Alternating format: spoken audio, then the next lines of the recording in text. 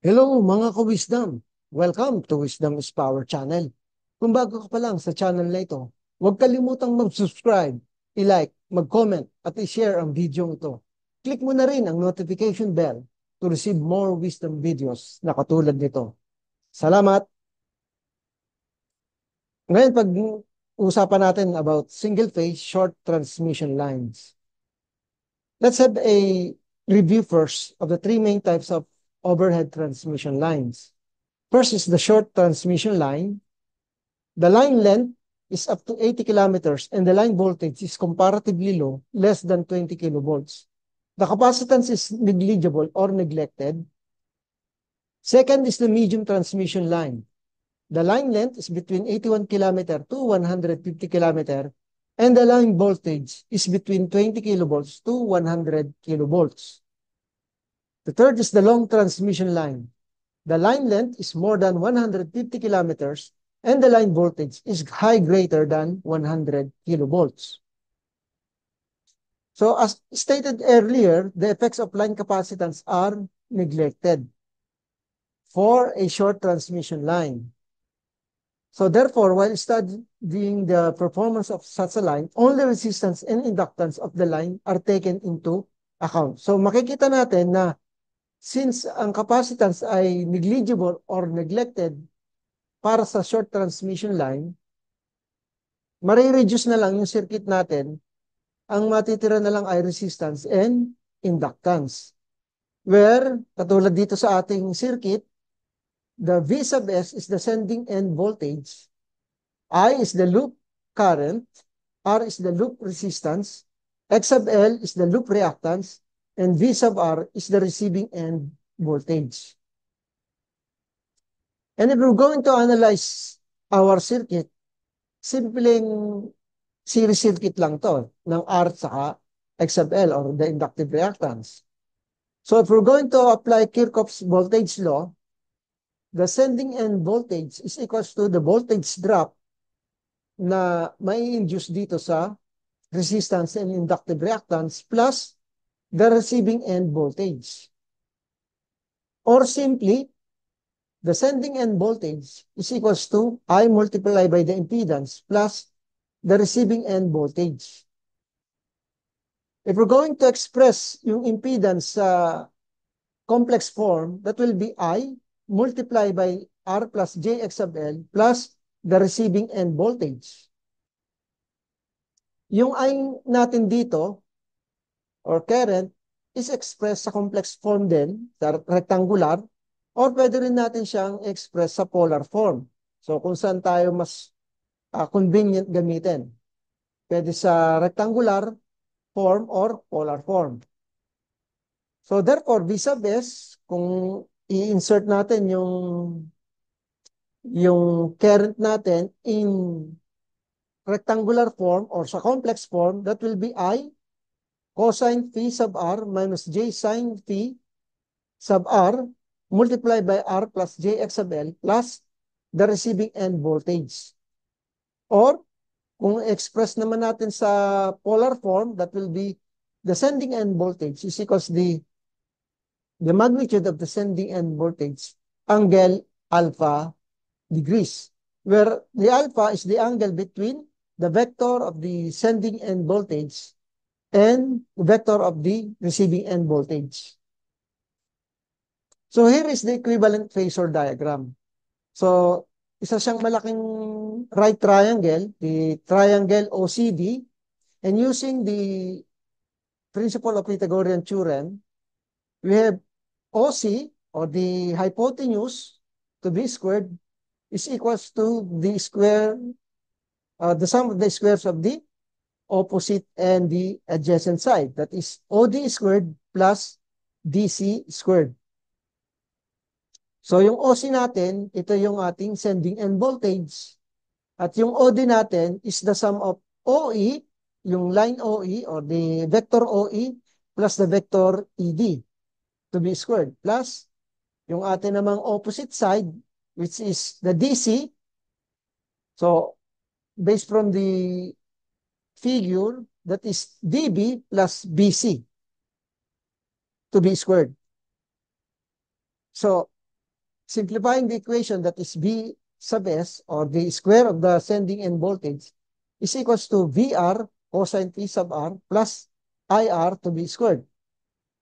Uh, yung as, kasing OE natin dito, pag kinuha natin yung trigonometric function ng cosine, that will give us yung OE, the adjacent side, para makuha natin yung OE, yung adjacent side nitong OAE triangle natin, no? that will be equals to VR cosine phi sub R plus ED. Yung ED natin, makikita natin ito, that is equals to I multiply by R. On the other hand, dito naman tayo sa opposite side, that will be DB. So this is the same with uh, triangle OAE. But this time, ang kukunin natin ngayon, yung opposite side. Huh? Opposite side, which is using trigonometric function of sine, sine, that will be B sub R sine P sub R. Plus, yung BC natin, BC, is equals to I multiplied by the inductive reactance. Then, getting the square root, that will give us V sub S, then square root of VR cosine phi plus I sub R to be squared plus VR sine theta, uh, sine phi plus I sub x sub L squared. So, let us remember that the cosine phi sub r is the receiving end power factor and the cosine phi sub s is the sending end power factor.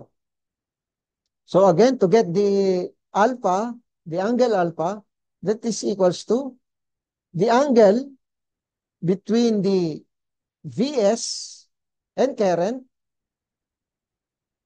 minus the angle between V sub R and current. Oh. So alpha, as we can see in the phasor diagram, that is the angle between vector Vs and vector V sub R. So while descending and power factor can be get can can be expressed as using the big triangle OCD that is OD over OC that is adjacent over opposite.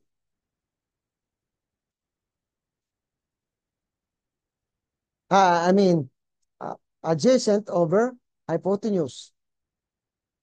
Then OD, as we can see from our diagram, that will be OE plus ED all over OC or the hypotenuse side. So again, OE, so using the cosine function, it will give us VR cosine phi sub r plus IR, the value of ED, which is equal also to the I multiply by R, all over the hypotenuse, which is V sub S. The power delivered is simply, katulad rin dati ng ating uh, formula for power, uh, V times I times cosine. This is for single phase. While the line losses is N I squared multiplied by R, where N, ang value ng N natin ay 2 kapag single phase and 3 if three phase. The power sent out is also equals to V, V multiplied by R cosine phi plus I squared R or the losses. While the percentage transmission efficiency that is equals to the efficiency is equals to power delivered all over power sent out or the sent out power. Then the the transmission efficiency is equals to the receiving voltage multiplied by the receiving current cosine phi sub r all over v sub r i sub r cosine phi sub r plus i squared multiplied by r. So in short, that is equals to output power all over the sum of output power plus the power losses. While in voltage regulation, that is equals to V sub R is equals to sending end voltage minus the receiving end voltage all over the receiving voltage multiplied by 100%. It means at a lower percentage voltage regulation is better for the performance of a transmission line as it indicates more stable voltage levels even with changing loads. So let's have a practice problem number one. A single phase line has an impedance of 5 angle 60 degrees and supplies a load of 120 ampere, 3.3 kilovolts at 0.8 power factor lagging. Calculate the sending end voltage. So let us write all the given first. We have the impedance, the current, the receiving end voltage, and the power factor of 0.8. So we are asked to solve for the sending end voltage. So based from our circuit, so the equation for sending end voltage is equals to I multiplied by the impedance plus the receiving end voltage. So the power factor is equals to, or the angle, to get the angle of the receiving end voltage is equals to uh, cosine raised to negative 1, 0 0.8, then you will get 36.87 degrees.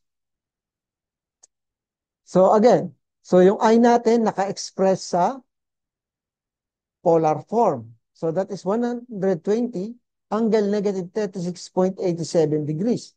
Ginawa nating negative kasi lagging ang ating given. So kapag lagging, ibig sabihin, naiiwan yung ating current ng ating voltage. Multiply by the impedance, also expressed in polar form, that is 5 angle 60 degrees, plus 3,300 angle 0 degrees para dun sa ating receiving end voltage. So that will give us 3,858.97 volts or simply 3.86 kilo volts.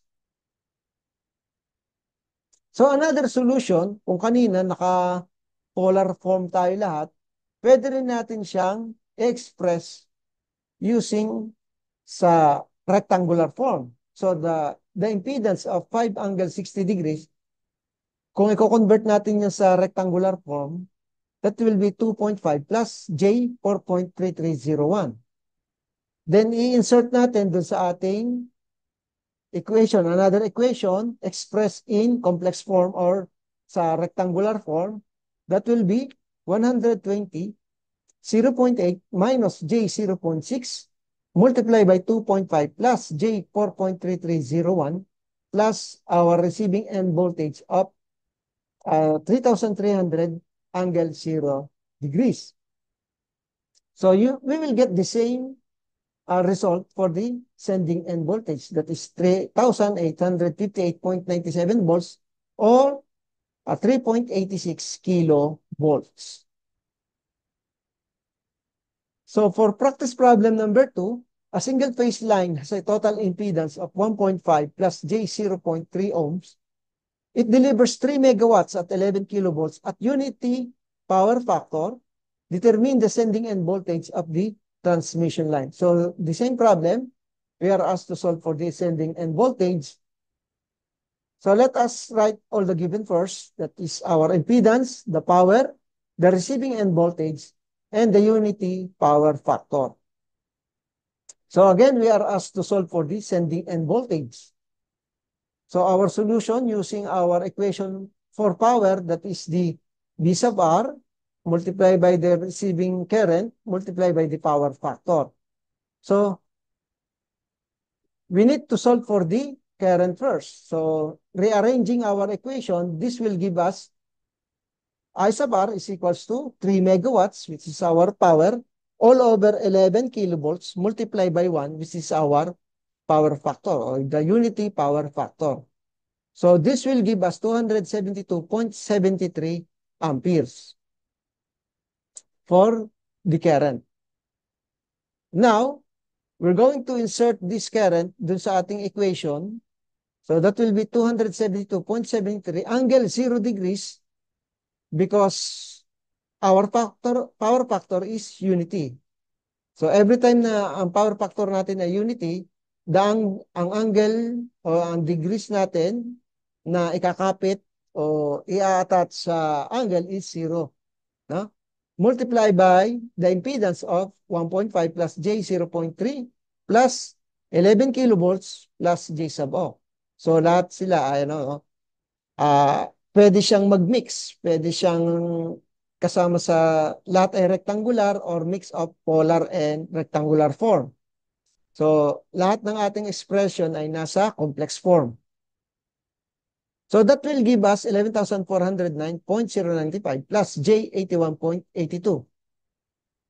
Giving, uh, getting the magnitude of our sending end voltage, this will give us 11,409.39 or simply 11.41 kilovolts.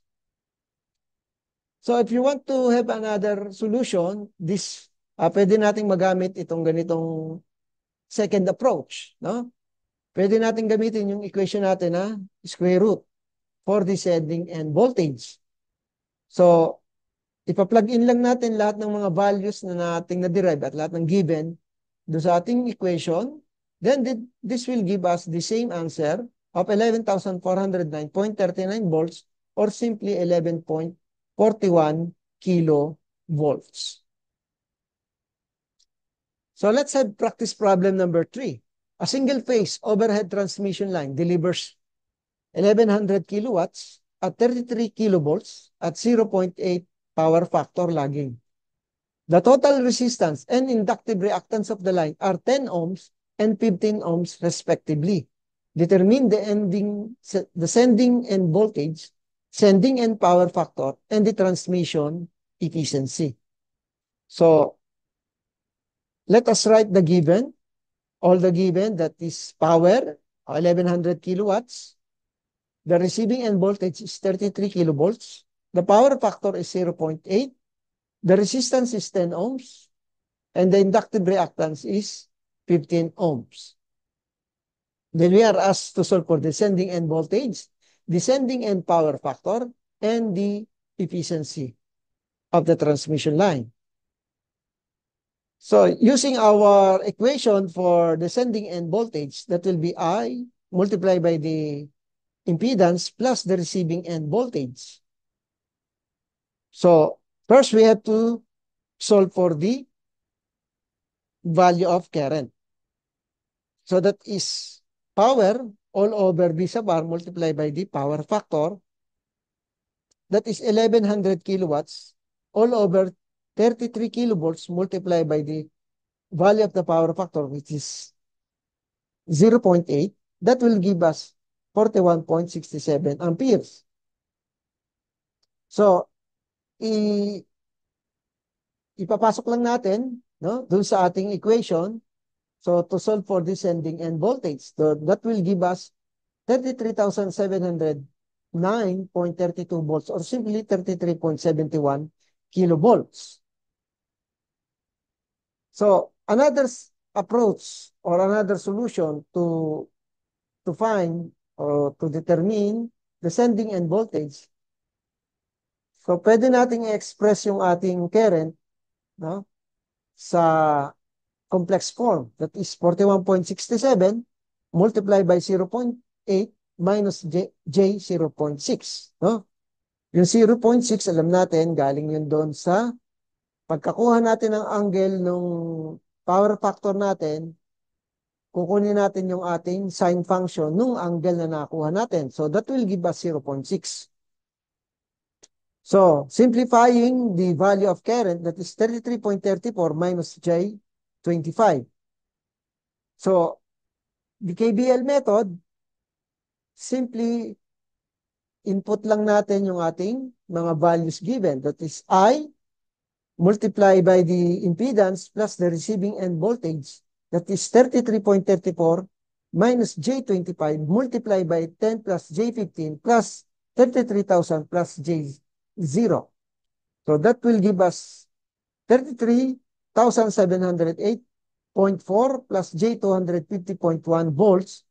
And getting the magnitude, this will give us 33,709.33 angle 0.425 degrees or simply 33,709.33 volts which is the same dun sa una nating uh, approach or solution. To solve for the sending end power factor, our uh, sending end power factor is equals to the receiving end power factor plus the angle of alpha. So that is 36.87 degrees plus yung nakuha natin kanina na 0.425 degrees para dun sa alpha or the angle na kasama nung ating sending end voltage which is 0.425. Kukunin lang natin yung sum, then it will give us 37.295. Then the power factor for the sending end, that will be cosine 37.295 and it will give us 0.795 lagging. So for the second solution to solve for descending and power factor, simply we will use our uh, cosine function para dun sa big triangle ng ating uh, equivalent phasor diagram. No? So that will be VR cosine T sub R plus IR all over V sub S. So isa-substitute lang natin yung mga values na nakuha natin at mga given. Then this will give us the same power factor value, which is 0.795. And for the for solving the transmission efficiency, the efficiency is equals to output power all over output power plus power losses. So since the line losses is equals to I squared multiplied by R, simply uh, we will use the value of the current na nakuha natin kanina, 41.67, uh, to be squared multiplied by the value of the resistance, which is equals to 10. So this will give us 17.36 kilowatts.